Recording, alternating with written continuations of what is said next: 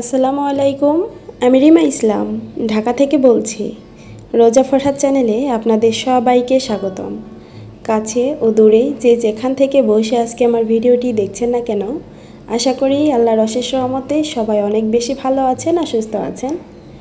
আপনাদের সবার সুস্বাস্থ্য কামনা করে আজকে নতুন আরও একটি ভিডিও শেয়ার করতে যাচ্ছি।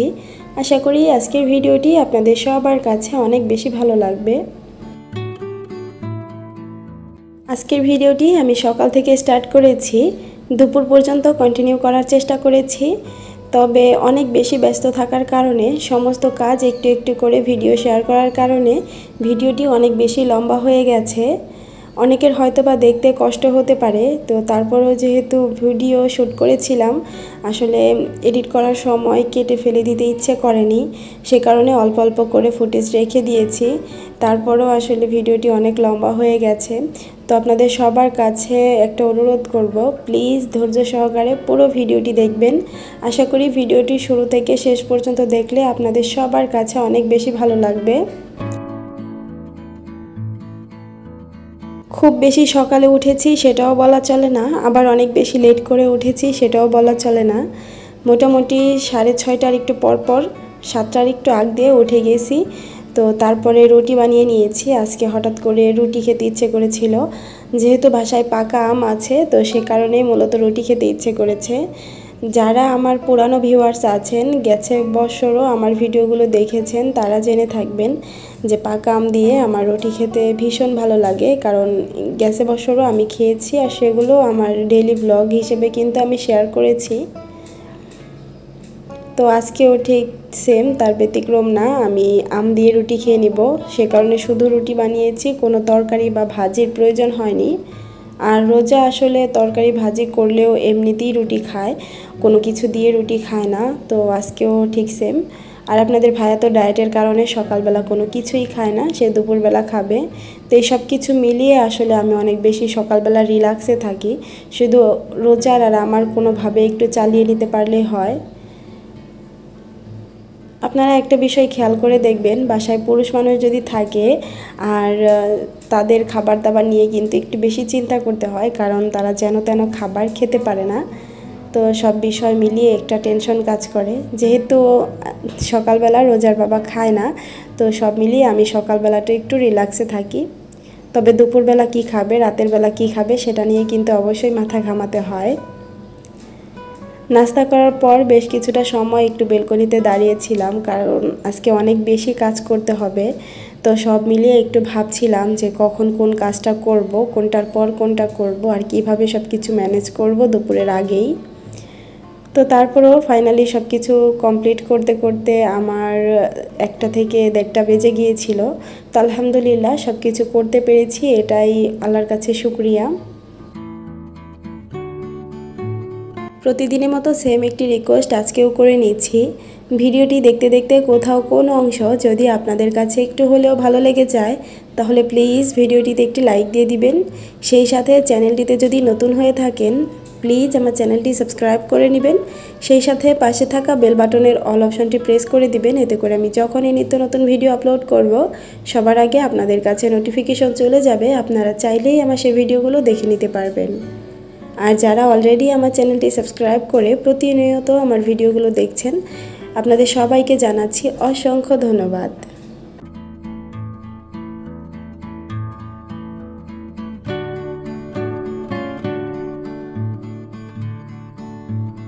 বেলকনিতে সময় কাটাতে কাটাতে মনটাকে একদম স্থির করে নিয়েছি, সেই সাথে কাজের একটা মনে মনে রুটিনও করে নিয়েছি।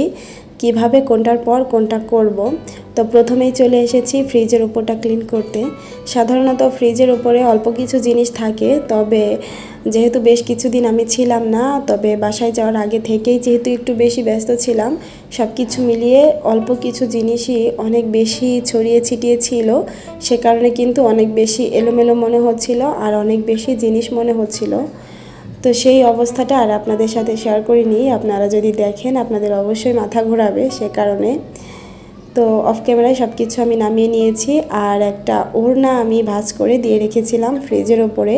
তো সেটাও আমি নামিয়ে নিয়েছি, ওপরটা একটু মুছে নিয়েছি।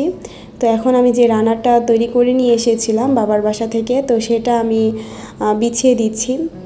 আসলে ফ্রিজের উপরে রানারগুলো কিন্তু একটু অন্যরকম হয়, দুই পাশে পকেট পকেট সিস্টেম দিয়ে হয়। তো আমার কাছে মনে হলো যে আমি যদি একটু চেঞ্জ করে বানাই হয়তো বা দেখতে ভালো লাগবে। তো সে কারণেই মূলত এভাবে বানিয়ে নিলাম। পরবর্তীতে আবার ইচ্ছা হলে ওরকমভাবেও বানিয়ে নিতে পারি, কোনো সমস্যা নেই। তবে এখনকার মতো এভাবেই থাকবে। আমি যেহেতু কোলবালিশের কাবার বানিয়ে নিয়ে এসেছি বাবার বাসা থেকে আসার সময়, তো তখন লাল কাপড় দিয়েই মূলত আমি কোলবালিশের কাভারগুলো বানিয়েছিলাম। আর তখনই বেশি করে কাপড় কিনেছিলাম। তো সেই কাপড়গুলো দিয়েই আমি ফ্রিজের উপরে রানার, সেই সাথে ওয়ার্ড্রপের উপরে রানার তৈরি করে নিয়ে এসেছি।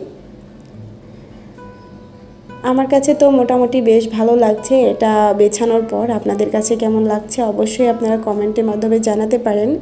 জানতে পারলে আমার বেশ ভালো লাগবে। বাসায় যে টুকটাক ওষুধপত্রগুলো লাগে, তো সেই সব ওষুধপত্রগুলো আমি একটা বক্সে রেখে দিয়েছি। তো সেটাই আমি এখন এখানে রেখে দিচ্ছি আর মুখটা সবসময় খোলাই রাখি।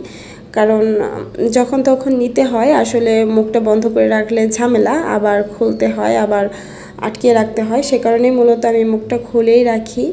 আর আমার রঙের যে বক্সটা আছে, এটাও আমি মুখ খুলে রেখেছি, কারণ মুখটা আটকালে রঙগুলো মানে এখানে বসবে না, কোটা চাইতে অনেক বেশি একটু লম্বা আর কি।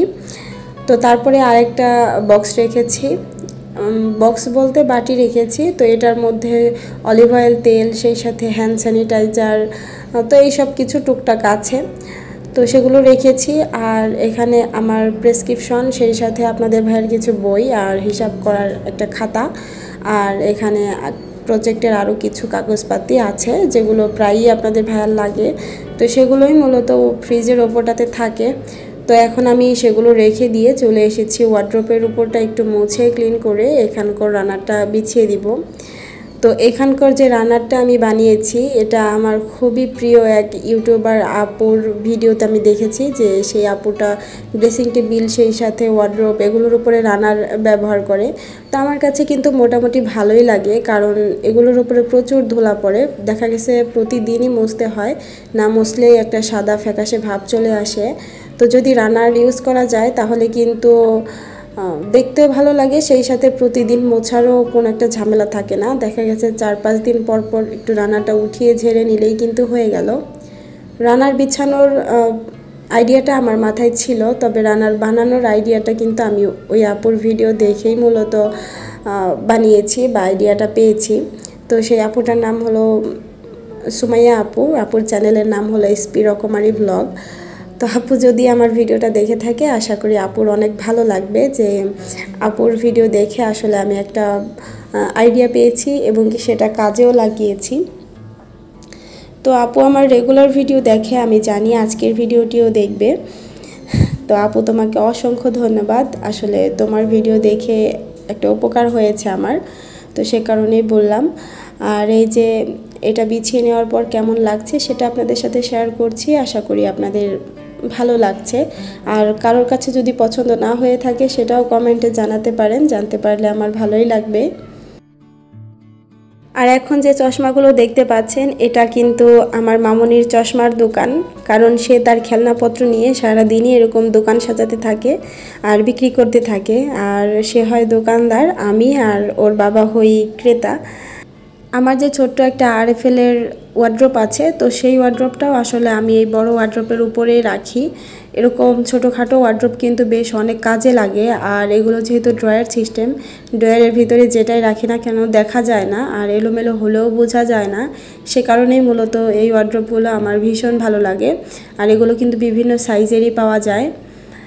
তো এই যে এখন আমি বিছানাটা গুছিয়ে নিচ্ছি, কারণ সকালবেলা রুটি বানিয়ে নাস্তা করেছি, তারপর ঘর দরে টুকটাক কাজ করছি, তবে বিছানাটা গোছানো হচ্ছিল না। তো এখন বিছানাটা গুছিয়ে নিচ্ছি, সেই সাথে বড় কোলবালিশের কাবারটা যখন চেঞ্জ করেছিলাম, তখন কিন্তু রোজার এই কোলবালিশগুলো বের করা হয়নি। তো এখন যেহেতু বের করা হয়ে গেছে, তো আমি এই কাবারগুলো খুলে ওই নতুন কাবারগুলো পরিয়ে দিচ্ছি।